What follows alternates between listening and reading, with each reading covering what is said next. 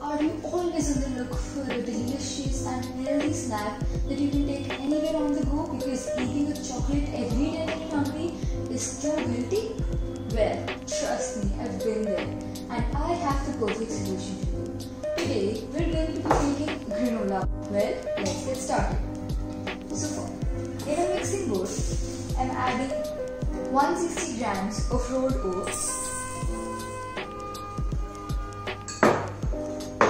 130 gram of grams of mixed nuts. So for the mixed nuts, I'm using raisins, almonds, cranberries, muskmelon seeds, cashews, sunflower seeds and watermelon seeds. But honestly, you could use whatever you want and how much ever you want.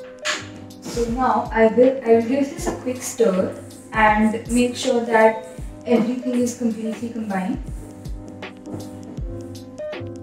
To this, I'm adding 75 grams of honey, 60 grams of peanut butter, 1 teaspoon of vanilla essence and a pinch of salt. And I'll mix this entirely.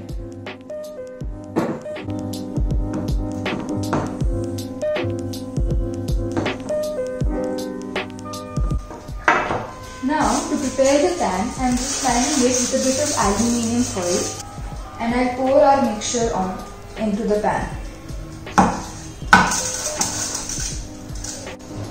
Now we'll put it to bake at 150 degrees for around 7 to 10 minutes. Now one very important thing to remember is that do not bake it for more than 10 minutes at all because heating honey for uh, honey over in temperature can make it really harmful for our health. So make sure that you do not bake it for more than 10 minutes or even more, at more than 150 degrees Celsius. So the granola is now out of the oven and I've let it cool for around 5 to 10 minutes and now I'll be taking it out of the pan.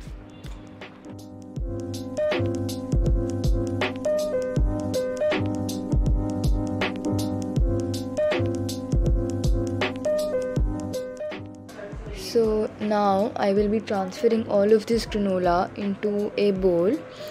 Uh, to store it, you could either store it in a tiffin or you could just store it in in a bowl.